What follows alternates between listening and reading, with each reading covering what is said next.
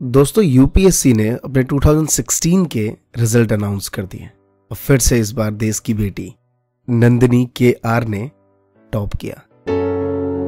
तो नमस्कार दोस्तों, मेरा नाम है अमरीश और स्वागत है आप सभी का महात्मा जी टेक्निकल चलिए, कोई ना कोई टॉप तो होना ही था, लेकिन नंदिनी की कहानी कुछ अलग है। नंदिनी तीन बार फेल हो चुकी है अब तक। यू नो बचपन में सुना था कि थॉमस सिल्वा एडिशन ने हज़ार बार प्रयास किया। फला ने सौ बार प्रयास किया। वो इतनी बार असफल रहे। लेकिन कोई रियल प्रैक्टिकल बहुत कम देखने को मिलता है। और दोस्तों, किसी भी कंपटीशन की प्रिपरेशन कर रहे हैं आप, या स्कूल लेवल पे हो कॉलेज लेवल पे हो, यार इनको देख के ना इंस्पायर होना बनता है। और हरिवंश राय बच्चन जी की वो कविता बिल्कुल प्रूफ होती है कि लहरों से डूबकर नौका पार नहीं होती, कोशिश करने वालों की कभी हार नहीं होती।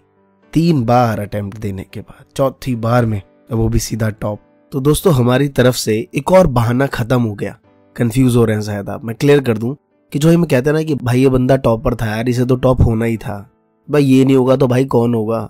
बस शुरू से था भाई अलग। इसकी तो बात ही अलग है। तो अब ये कहानी खत्म, क्योंकि तीन बार फेल होके टॉप किया है। अबे हम तो एक या दो बार ही फेल होते हैं। तभी डिप्रेशन में मूड खराब घर वाले को ताने, दुनिया के ताने, हैं? वो देना दे, हम उल्टा कहते हैं दुनिया जीने नहीं दे रही भाई। एक या दो बार में अब तीन तीन बार हो रहा है इनका। तो दोस्त, आज से हम ये ताने देने या ये एक्सक्यूज देना बंद कर दें अपने आप को।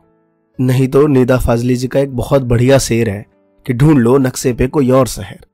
इस शहर में तो सबसे मुलाकात हो गई। तो ऐसा ही करेंगे फिर।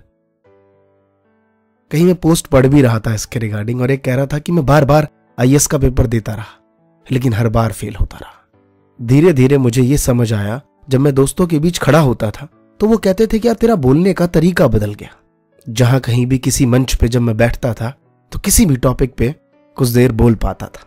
भले मैं आज आईएस बना या नहीं बना, लेकिन मेरे अंदर एक आदमीता आ गई कि जब आप पढ़ते हैं पढ़ते हैं पढ़ते हैं, निरंतर लगे रहते हैं, कुछ सीखने को नहीं मिलता, बहुत कुछ सीखने को मिलता है। वाकई, दोस्त इनको देख के इंस्पायर हुई है पहले से ही आया रस थी। जॉब कर रही थी, लेकिन फिर भी पढ़ाई की और सीधा टॉप किया। और फिर रिपीट करना चाहूँगा कि अगर कोई रिपोर्टर इनसे पूछेगा कि, मैम, सफलता तो आपको रातों रात मिल गई। तो इनका शायद यही कहना होगा कि, दोस्त, तुम नहीं जानते, ये रात कितनी लंबी थी। थैंक यू सो मच दोस्तों। जय हिंद, जय भारत।